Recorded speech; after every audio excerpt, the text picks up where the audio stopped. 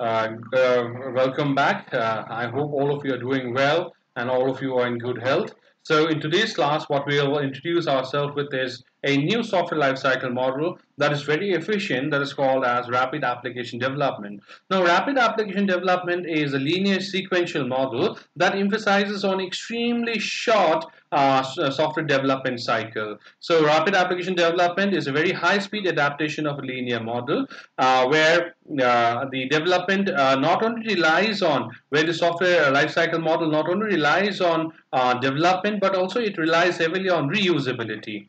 So if the requirements are well understood and the constraints are well defined, then rapid application development would be the best model to select for developing an application. Now, rapid application development has following phases. Uh, the first phase in rapid application development uh, model is business modeling phase. Now, it's very important for us to identify the various entities that are participating in realizing the business. So that is the objective of business modeling phase. So the objective of business modeling phase is to facilitate one in identifying all the, the entities that are participating, rather entities or, or it, it can also be called as objects. So if you answer the following questions, it may be very easy for you to derive a uh, derive a or have a rough idea about a set of objects that are participating in realizing the business. So now the first one is uh, what information drives the business process? So it's very important to answer this particular question. So an example, in case of library management system, now library management system is a system that is driven by books, user, librarian, and so on and so forth. So what information drives the business, right? Now what information is generated? Who generates the information? Where does the information go? And who processes it? Just see, if you seek answer for these five important questions, what you will be able to do is you will be able to identify uh, the various objects, uh, the various potential objects that may be participating in realizing the business. So business modeling has a very important role to play. Now, once the business modeling phase is over, once the, the of communication has been uh, uh, achieved in business modeling phase, then what we do is we uh, initiate data modeling phase. Now, in case of data modeling phase, what we do is the information flow that has been identified during business modeling phase is transformed into set of identifiable objects, as I've already said, because the peers of the communication and the one who runs the business will also always be uh, the objects, objects or the entities. So, in case of the data modeling phase, that is the objective. The objective is to identify all the objects that are participating in realizing the business. Now, once the objects have been identified, it's very important for one to identify the attributes uh, and the behaviors that are related with the objects. So once the attributes and the behaviors that are related with the objects are identified, and it and then it's very essential to establish relationship between objects because in order to realize certain business, what we need is we need participation of the objects and relationship between them. Uh, say for an example, uh, uh, one of the object in library management system is student. So student is attributed with various features, right? And uh, uh and it has several behaviors in it as well. Another object is, say, for an example, a book. So book has a set of attributes and consider a set of behaviors. Now just see, relationship basically implies uh, say for an example, if I establish a relationship that a, a, user is allowed to borrow uh, 0 or n, 0 to n number of books. So what I've done is I've established a relationship between these two objects so that helps us in realizing certain business. Now that is the objective data modeling phase. Now what we have is we have the next phase that is called as process modeling phase. Now once the, the objects have been identified, once the attribute has been listed, an idea about the methods that are there has been drawn. Now what we need to do is we need to implement all these methods. So in case of process modeling phase, the, the data objects defined in the data modeling phase are transformed to achieve information flow necessary to implement business functions. So what we need to do is we need to implement methods. Say, for an example, methods like addition, modification, deletion, or retrieval of data, and so on and so forth. So that is what is process modeling phase uh, responsible for. Then comes application generation. Now, in case of application generation, in order to save time in case of rapid application development, rapid application development heavily relies on the use of fourth generation languages instead of third generation languages like C, C++, and so on and so forth. So it relies on framework like VB, and so on and so forth.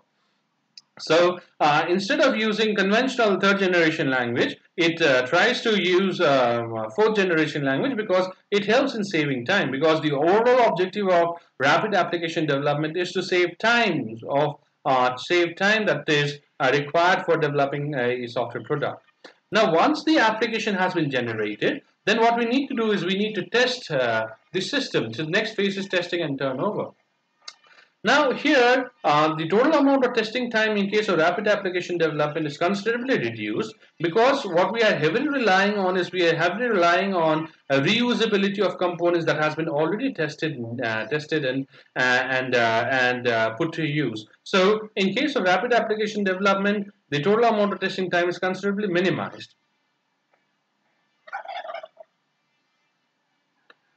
Now this is a, very simple diagrammatic representation of rapid application development model. So rapid application development model has a development time of uh, two to six months. So it aims at achieving uh, the uh, achieving or developing the software system within two to six months. Where what we have is we have various phases, uh, various phases, and uh, across various phases, what we have is we have various versions being released. Now let us start from here it's very easy. So rapid application development, the overall development cycle is of two to six months, and the the uh, the development cycle is divided into two sessions. One is called as JAD, and the other one is called as focus group session. So JAD stands for Joint Application Development, whereas FGA stands for Focus Group Session. So in case of joint application development, there is a collaborative effort of both the developer as well as the customer in order to uh, create a concrete definition of the system. Now initially just see there might be diversion. Initially there might be the diversion between developer's conception and the customer's conception. That means there might be uh, friction in uh, or, a divergence in the understanding about the various functionalities between the customer and the developer. So during joint application development session, what we need to do is we need to weed out or eradicate such a certain divergence and come up with a very concrete definition about the system in terms of scope, concept and requirement. So what is the scope of the system? What are the various concepts that are participating and what are the requirement? So now uh, once the scope, concept and requirement has been properly drawn after joint agreement or collaborative effort of both the customer and the developer, then the initial version of the software system is uh, uh, built, that is the version 1. Now once the version 1 has been released, now the participation of customer term, uh, terminates. So the customer will be no further participating in software development because in the joint application development session only uh, the customer has uh, participated and given their feedback about uh, what would be the scope, what would be the concept, and what would be the set of requirement. So then comes in the, the role of the focus group session. Now, in case of focus group, focus group session, only the members in the development team participates.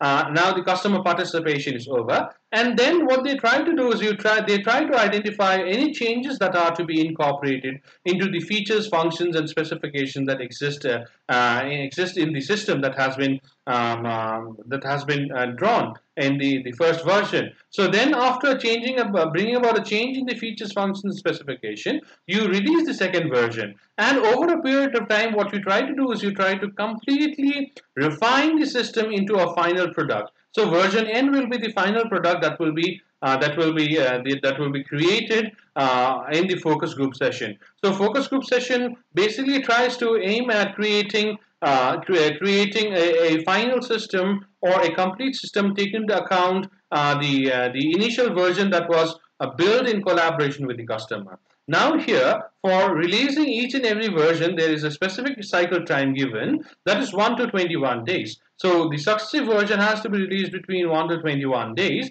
where in that 1 to 21 days, what we try to do is we try to re-specify, redesign, and uh, re-evaluate. So this is a continuous process, as in case of prototyping model. So what we try to do is we try to re-specify, we try to redesign, we try to re-evaluate. So based on the evaluation, a result of the evaluation, continuous refinement is done, and so on and so forth. So this is a very simple representation of rapid application development uh, using iterative prototyping model.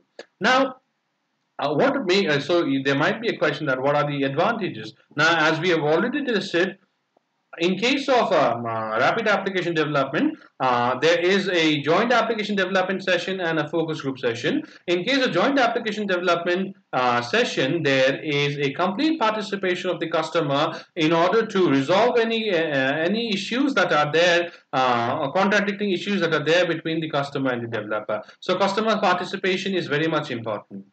Now, as the customer, customer participates in the software development life cycle, customer may also be uh, satisfied uh, satisfied with the product because their involvement uh, their involvement uh, has been taken into consideration. Now, the second important advantage is that feedback from the customer is uh, taken into account in the initial stages uh, when the actual conception is done because uh, because it is very much important when the requirement the scope uh, the concept and the requirements are identified, it's very important for the customer to participate. So since customer participates, uh, the, the probability of success is very high.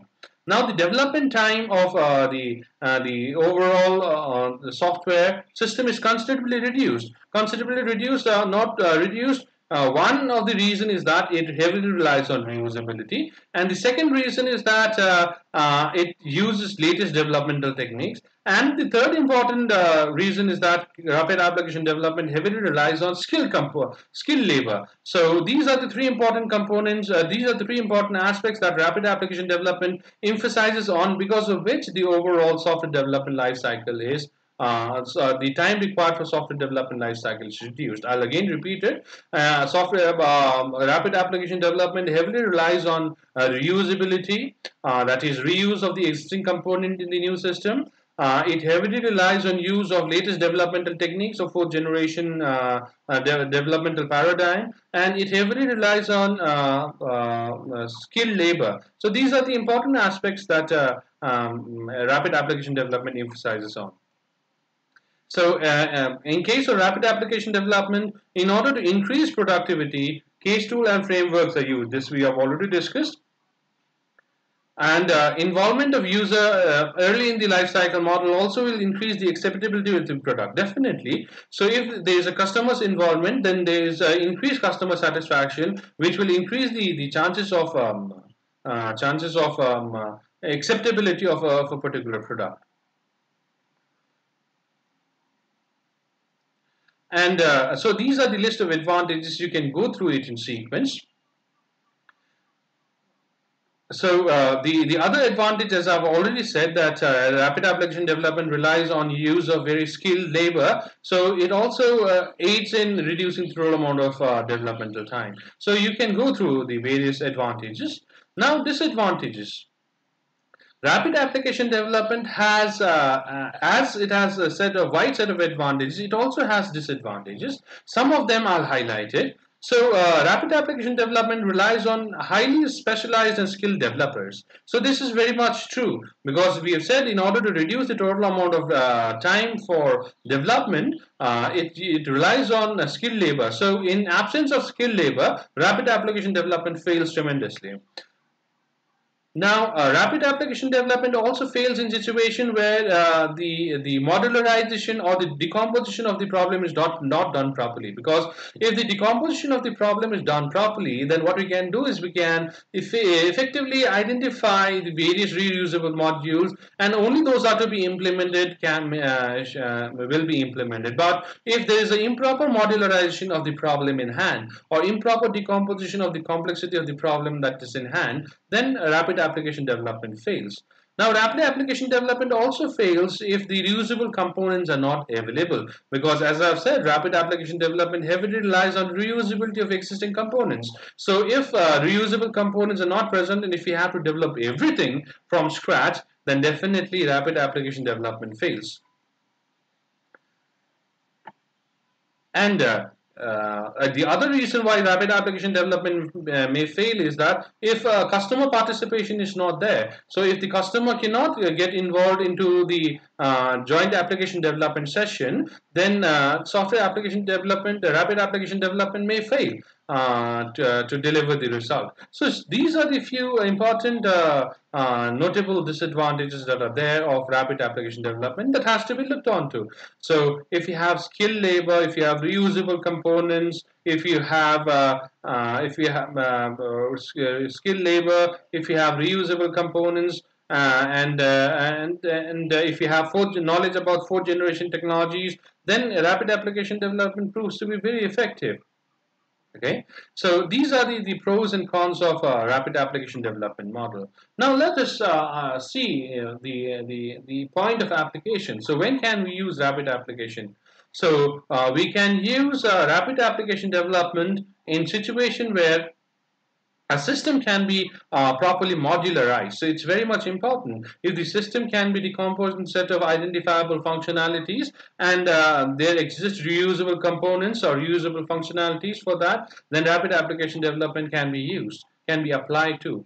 A rapid application development can be uh, used in situations where uh, you have a, a good sound knowledge about the various requirements of the, uh, the, the system. So if you are well acquainted with the various requirements of the system, then rapid application development proves to be very efficient.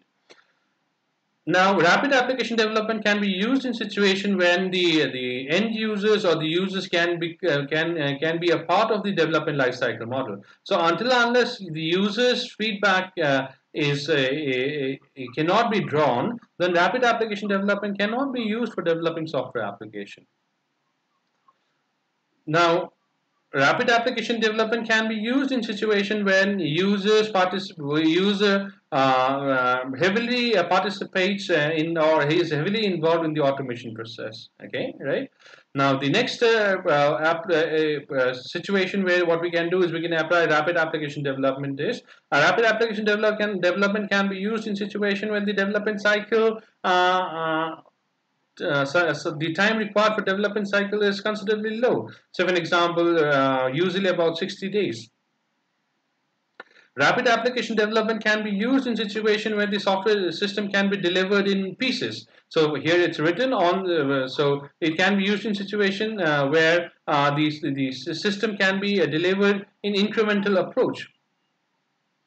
Uh, rapid application development can be used in situation where uh, situation where uh, the the uh, the uh, well, it can be used in situations situation where there there is a there is a requirement uh, of time or there is a strict schedule in which within which the software system has to be uh, has to be delivered. So these are the way, uh, various situation in which what we can do is we can use rapid application development as a as a basis for developing de developing the software product okay? So this is a very important model. So what I want you to do is I want you to uh, just um, uh, look into all important aspects of rapid application development now the next model that we have is component assembly model.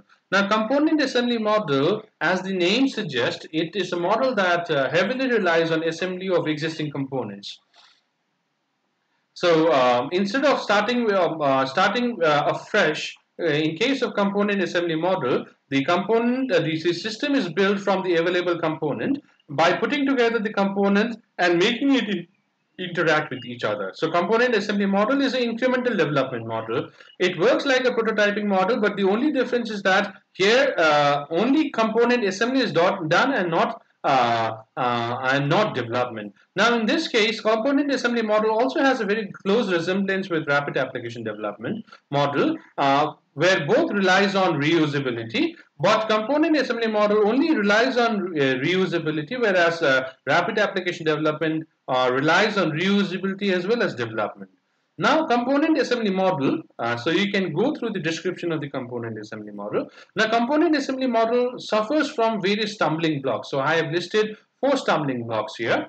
Uh, so component assembly model as it heavily relies on reuse of the existing components only, uh, component assembly model suffers from various uh, stumbling blocks. So these are nothing but problems. So programs previously created are non-optimal for component assembly model. Definitely. So programs that are previously created or modules that are previously created, it may so happen that the modules may be capable of delivering the expected result, but it may not be capable of incorporating itself or collaborating with the functionalities that, that in the existing system. So uh, this is very much important. So here, uh, what we need to always remember is that whenever we are using component assembly model as a basis for um, developing a system or building a system rather, uh, we need to always uh, look into uh, collection of a set of optimal set of uh, optimal set of components that can be used in the new system. Now, the second stumbling block is that evaluation of components always done independent of the whole. Now, it may so happen that uh, a module may be capable of uh, delivering the expected result uh, uh well within time and with the desired accuracy, but it may so happen that uh, the, the, the component may not be able to deliver results in collaboration with all the other new components that are there in the new system. So, uh, like in the the stumbling uh, block one, a, the uh, in case of stumbling block two, uh, uh, Uh, uh, component the the assessment of the components that are there belonging to the system should be done in collaboration with all the other all the other components that are there in the, the, the that are there in the system. So, evaluation of components the, is always independent to the the whole program. So, uh, the component should be capable of collaborating with all the other components that are there in the new system. Now the third stumbling block is a, a closely ended component. Now, closely ended component refers to a situation where uh, the component that can be possibly re reused is heavily coupled with the other components that are there in the, uh, the previous system.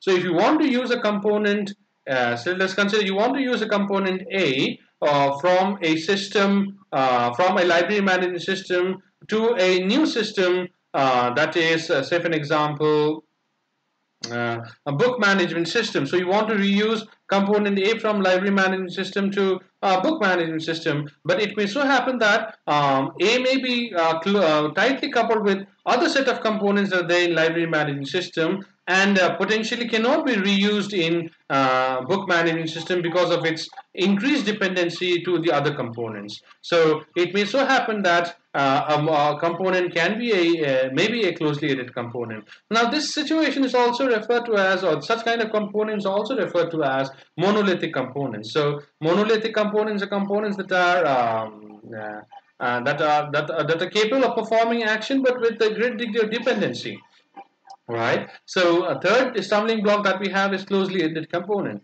now the fourth uh, important problem that uh, may there maybe there is licensing issues. Now licenses are, are not released with the components. Licenses are released with the product. So it may so happen that uh, re reusing a component from some other system that you have built for some other user into the new system may call for legal implications. So this, this is the fourth important aspect that you need to look into. So component assembly model is a model that completely relies on reuse of the existing component to create a new system, but it suffers from uh, several stumbling blocks. So the first stumbling block, again I'll repeat it, program previously created may, uh, may be non-optimal for component assembly model because uh, it may not fit into the new system or it may not utilize the resources optimally or may not be capable of collaborating with the, the new set of components that are there in the new system. Now stumbling block 2, evaluation of components is always done independent of the whole. That means that implies that a component may be capable of uh, efficiently generating the expected result and well within time, but it may so happen that it, uh, it may not be capable of integrating with the other modules that are there in the, the system or may be capable of badly uh, collaborating with the uh, the other models that are there in the new system. Now the third stumbling block that you have is called as closely ended component. So closely ended component uh, refers to a situation where there is a degree of uh, there is a high degree of dependency between the module and a, um, other modules that are uh, so that that were supposed to be reused. So in such situation, uh, reusing a, a existing component or existing module becomes very difficult because of its increased dependency to other modules. And the fourth important issue is the licensing issue, where uh, licenses are issued with the product, not with the components of the product. So it may call on for legal implication uh, legal implication if you reuse the component of existing existing system into a new system, right? Now these are the various problems that makes a component assembly model a rather uh, non-dependable module or, or, or, is often not used. Now the next uh, life cycle model that uh, that we need to discuss is called as the evolutionary model. This is also one of the important life cycle model that you have. Evolutionary model uh, the model is also known as successive version model because as the, the software system evolves, different version of the, the, the software system is being released. Uh, say, for an example, you must have observed Facebook. So over a series of time, the Facebook system has evolved. So it follows evolutionary development model. So this model is also known as successive version model. In this model, first the system is broken down into several identifiable modules or functional units, and then the system is development in, a, in development in uh, development uh, developed in a or system development takes place in an incremental model. So it is very important. First, uh, what we need to do is we need to modularize the, the overall problem into a set of identifiable modules and then to develop it incrementally. But here, one of the crucial decision point that you need to um, that you that that you need to uh, create is that uh, which of the modules will be released uh, early in the life cycle model and uh, which of the modules will be released later in the life cycle model? Because uh, depending upon what modules are released at what point in time the success of the product uh, is determined because if you if you if you if you if you release the initial version with a very a set of very low priority modules then the the, the the the success of the product may be considerably low right? So it's very important for us to prioritize the module. So the development the developer first develops the core modules in the system and then the core modules uh, uh, core modules are, are core module is released as the initial version and then uh, cap capabilities are added. So the developer first develops the core module of the system. This initial product skeleton is refined into increasing level of capabilities by adding new set of functionalities. So once the the initial version with the core module has been released then what you need what you can do is you can add up new capabilities into the system and uh, eventually come up with the, uh, the the final system now, the advantage of this particular model over other model is that here the, the software system is being released in successive versions. And successive versions, which implies that uh, you have multiple versions of the software system being released with uh, vari uh, um, varied capabilities. So here, the requirement need not be completely defined. So one of the advantages, as I've stated here, is early delivery of the portion of the system, uh, even though some of the requirements are not yet de uh, decided upon. So uh, what we can do is we can start with the the, the development phase and the release phase, development phase and release phase uh, when a set of requirements are not yet properly decided upon. The, the entire set of requirements is not decided upon. Now uh, the core. Uh, so what happens when you uh, release the version in uh, system in different versions? The core modules get thoroughly tested. Thereby, uh, what happens is that it increases the uh, the chances of errors in the final product. Okay? So use of early release at, uh, uh, as tool for requirement elicitation. Now just see what happens that what this particular point implies that so when you release the initial versions then you will come up with uh, you'll come up with uh, uh, with uh, with the representation from the customer that what they want in the next version of the software system. So as a, as a version is released as the assessment is done by the customer customer comes up with the new set of requirements that uh, they expect the the next version to have. So it may be the it may be used as the process for um, getting uh, or seeking requirement from the customer as well. So these are the few notable advantages of evolutionary model now disadvantages.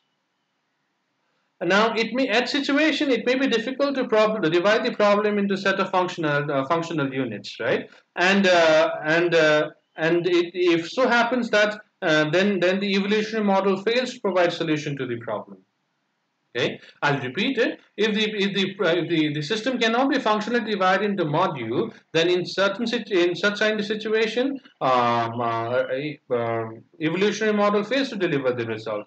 And uh, evolutionary model can only be used in situation where the problem size is considerably high, larger program um, uh, or large it cannot it, it should not be used in situation where the problem size is considerably low because of the inherent complexities that are involved. So here what we have learned about is we have learned about uh, what is evolutionary model what are the qualities of evolutionary model what are the advantages and disadvantages right? So now the next uh, life cycle model that we have uh, is spiral life cycle development model so this model what we're going to do is we're going to discuss in the next class so uh, thank you very much and stay safe.